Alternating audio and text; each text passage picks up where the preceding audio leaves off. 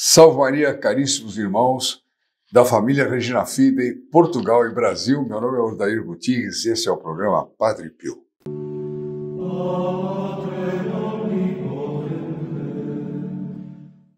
Então, hoje nós vamos falar sobre o milagre francês do Padre Pio. Como é que é isso? O Padre Pio nunca foi à França e fez um milagre na França. Vocês vão gostar muito, sobretudo porque esse milagre se deu em Alençon, cidade em que nasceu Santa Teresinha do Menino Jesus. Então vamos passar diretamente para a leitura do, desse, desse texto, que foi tirado da revista Homme Nouveau, francesa. Então vamos lá? Vocês vão gostar disso aqui. De um ponto de vista histórico e estritamente material, Padre Pio nunca pôs os pés na França. Mas do ponto de vista sobrenatural, a coisa já é bem diferente. Claro, Pio é em todo lugar. Há uma passagem é, do santo pela França bem atestada pelos seus beneficiários que a tornaram pública em 1958. Vamos ver o que aconteceu. Em 29 de janeiro de 1957, em Alençon, o pequeno Daniel Batonier, um menino de seis anos, foi diagnosticado com meningite cefalorra... cefalorraquidiana. Poxa vida. E seu estado de saúde era considerado sem esperança. O conselho dos vizinhos, a conselho dos vizinhos, um telegrama foi enviado ao Padre Pio, em São Giovanni Rotondo, pedindo orações por uma criança que morria. Não foi mandado o nome dele, não foi foi mandado um telegrama, reze por uma criança que está morrendo. Vamos ver o que, que, o Padre Pio fez. A gente vê que para Deus não precisa muita burocracia, né? A pessoa diz assim, ah, eu preciso me cadastrar com filhos protegidos do Padre Pio, e se meu nome ficar errado em alguma coisa, será que eu não vou receber as vistas? Não. Claro que você vai estar em. O Padre Pio não precisa de tec... Uh, o Padre Pio também não, mas Deus não precisa de tecnologia da informação para saber para quem ele vai dirigir aquelas graças, né? Bom, aqui também mandaram para o Padre Pio um telegrama: reze por uma criança que morria. E vocês vão ver que os pais dessa criança não eram pessoas muito religiosas. O telegrama foi envi enviado às 13 horas e 30 minutos daquele dia, certo? Então, no dia 29 de janeiro de 1957, às 13 horas e 30 minutos, foi mandado o telegrama pedindo orações. Às 15 horas, Daniel, cuja febre já tinha subido a 41 graus, estava nas últimas. Não tinha chegado o telegrama na mão do Padre Pio. Às 16 horas, de repente, sem uma explicação médica, a febre caiu e a criança foi salva. De repente. Quer dizer, o telegrama tinha chegado, Padre Pio tinha rezado, tinha intercedido e tinha conseguido uma cura milagrosa em Arançon, né? Mas vocês vão dizer, bom, mas Padre Pio não precisou ir para a França para isso? Calma, a história não terminou ainda. No dia seguinte, notando um santinho do Padre Pio que sua mãe tinha comprado e posto na cama, o menino disse com um sorriso: Mamãe, eu conheço esse padre.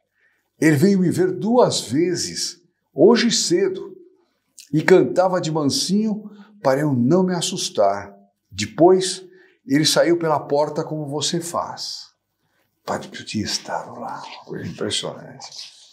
Tudo isso para grande espanto da senhora Batonier, que não era católica praticante e nada sabia sobre as bilocações do Padre Pio. O Padre Pio tinha ido à França, sim, em bilocação. Esse dom que ele tinha e que salvou tanta gente, inclusive na guerra. Né? Quanta gente o Padre Pio atendeu nas trincheiras para salvar almas, para confessar pessoas, sem sair de São Giovanni Rotondo. Que coisa maravilhosa, né? O milagre foi revelado pelo padre Onfoy em sua revista Nossa Senhora dos Novos Tempos, na edição de março a abril de 1958. Eu estava com quatro aninhos ainda. Olha como. Além... E o Padre Pio estava vivo, hein? ele ia morrer dez anos depois. Além da súbita e inexplicável cura da criança, que era de fato um milagre, e levou seus pais ao casamento religioso, quer dizer, os pais não só não eram católicos praticantes, mas estavam unidos sem o matrimônio do casamento. Esse milagre não só curou o menino, mas fez um milagre talvez maior do que a cura do menino, que é o milagre da conversão dos pais. O milagre de uma conversão, nós não fazemos ideia do tamanho de um milagre de uma conversão. Né? Vale a pena ressaltar um pequeno detalhe, ligado a uma das grandes amizades francesas do Padre Pio.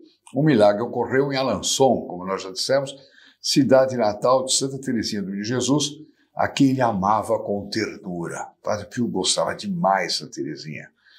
Eu já contei várias vezes aqui, Santa Teresinha foi para ele uma, um farol na espiritualidade dele. Mostrou, ensinou a ele tudo que ele devia suportar para poder cumprir a missão dele. Mas eu já falei isso num outro vídeo que vocês podem procurar e não vou repetir aqui.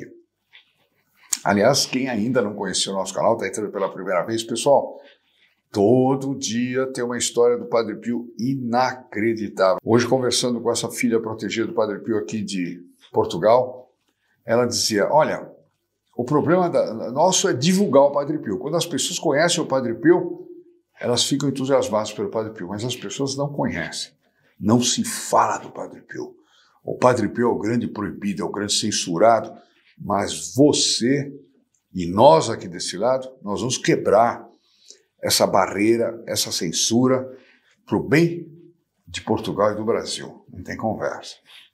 Bom, olha só o que aconteceu. Por causa desse fato, a fama do Padre Pio logo se espalhou pela França. Se, obedecendo às ordens de seus superiores, os capuchinhos italianos mantinham silêncio sobre o estigmatizado, quer dizer, eles não falavam nada do padre que tinha os estigmas e que tinha fama de santidade, por ordem dos superiores, né?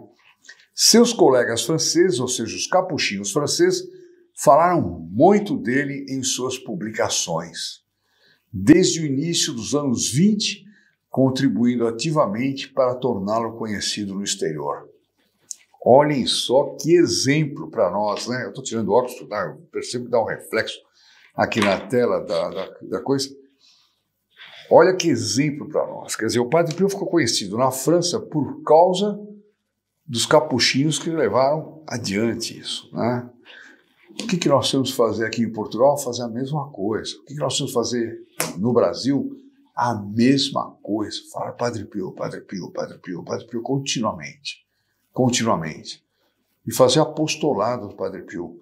Eu vou ficar muito feliz daqui um, dois anos a gente perceber que muita gente conhece o Padre Pio aqui em Portugal. Vai ser uma maravilha. Vai ser uma maravilha. Né? No Brasil já começa a ser assim. No Brasil começa a ser assim. Quando a gente vai naquele Google Trends, que diz quais são os temas mais procurados no Google, etc., a gente vê que a partir do momento do nosso apostolado, o Padre Pio começa a subir nas buscas. É? Portugal ainda está baixinho, mas vai começar a subir se eu contar com a ajuda de vocês, queridos irmãos portugueses, e dos brasileiros também. E todos, não só com a ajuda como filho protegido do Padre Pio, mas também com as orações. Fundamental isso. Né? Sabe lá quem rezou para que esse menino, que alma rezou para que esse menino fosse salvo, fosse curado, sendo que os pais não eram católicos praticantes, não eram nem sequer casados, né? Quem terá conquistado essa graça para esse menino? O Padre Pio se bilocar da Itália até a França. Talvez uma dessas pessoas, há vizinhas que tenham recomendado mandar o telegrama. Quem sabe? Né? Se você quiser saber mais sobre curas impressionantes do Padre Pio, olha, tem aí, eu vou deixar aqui no, no vídeo, na descrição do, do vídeo, eu vou deixar o link do vídeo Padre Pio, a cura impressionante de uma moça desenganada. É um vídeo também que vai um pouco nessa linha. Essas curas do Padre Pio são impressionantes, mas todas elas são muito diferentes. Vocês vão ver isso aí. Se você gostou do nosso canal e ainda não é membro, você não deixe de, de inscrever-se, acionar o sininho. Seu nome vai ser incluído nas intenções da próxima quinta-feira. Só por fazer isso, você já tem seu nome numa missa e tem mais: se você colocar enviar, é, é, como é que se diz, compartilhar esse vídeo, todas as pessoas com quem você compartilhar também serão incluídas nas intenções dessa missa. Mesmo que elas não saibam, que elas não sejam católicas, elas vão receber graças porque você compartilhou, tá bem? Então, não deixe de assinar, de fazer isso. E não deixe, sobretudo, terminar seu dia sem fazer alguma coisa pelo Padre Pio, alguma coisa que seja. Dando um like, dando uma colaboração, rezando, mas fazer alguma coisa pelo Padre Pio, para que os países de língua lusitana né, possam conhecer mais o Padre Pio e aumentar o apostolado do Padre Pio. Queridos irmãos, Portugal e Brasil, da família Regina Fidei, salve Maria e até a próxima. Ave Maria, cheia de graça, o Senhor é convosco. Bendita sois vós entre as mulheres, e bendito é o fruto de vosso ventre, Jesus. Santa Maria, Mãe de Deus, rogai por nós, os pecadores, agora e na hora de nossa morte.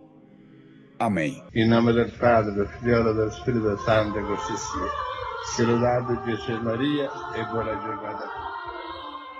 Lembre-se, o demônio não quer você como filho protegido do Padre Pio. Ele sente que isso enfraquece sua influência nefasta sobre você e sua família e para te manter longe do Padre Pio, ele age através de muitas estratégias. Vamos revelar as quatro principais que já detectamos. Primeiro, depois de decidir-se por ser um filho protegido, ele provoca algum tipo de distração que lhe impede de fazer a inscrição naquele momento. Você fecha aquela janela do computador ou do celular e talvez nunca mais volte. Segundo, você deixa para depois, quer estudar melhor e com isso vai protelando, protelando. Você perde graças incríveis, como é o caso da missa semanal pelos filhos protegidos do Padre Pio. Cada semana que você protela é uma missa perdida. Em dois meses serão dez e assim por diante. Nesse exemplo, Satanás já ganhou dez batalhas pela conquista de sua alma. Ele também procura exagerar o valor de sua contribuição e que isso vai lhe fazer falta no dia de amanhã. E que você deve pensar bem, pensar duas vezes como se você não pudesse suspendê-la a qualquer momento. Quarta, o demônio lhe engana sugerindo que você já fez muito pelo Padre Pio, afinal, você já assiste e compartilha vídeos, dá likes, reza para o Padre Pio. Para que fazer um esforço a mais e ajudar a salvar muitas almas? Salve a sua alma e pronto, ele lhe sussurra. Como resistir, como ter certezas, como começar logo a receber as graças concedidas aos filhos protegidos do Padre Pio? Peça ao seu anjo da guarda que lhe ajude a enfrentar essas tentações assim que elas aparecerem. Inscreva-se logo no grupo Filhos Protegidos do Padre Pio e testemunhe você mesmo o que acontecerá daí em diante. E surpreenda-se com tudo que vai acontecer durante essa chamada. O Padre Pio lhe convida e espera a sua chamada.